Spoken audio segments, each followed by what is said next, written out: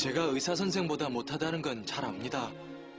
하지만 그 누구보다도 지현 씨를 아껴줄 자신 있습니다. 농촌에서 살면서 앞으로 따님 고생 안 시킨다는 장담은 못 드립니다. 하지만 제 자신보다 더 사랑하고 위해 주겠습니다.